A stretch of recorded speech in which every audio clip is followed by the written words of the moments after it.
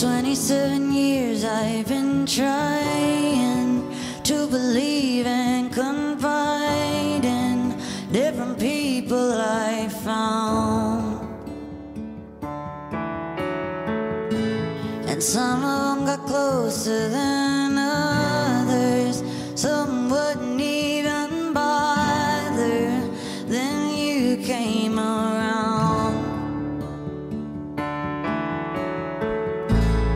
didn't really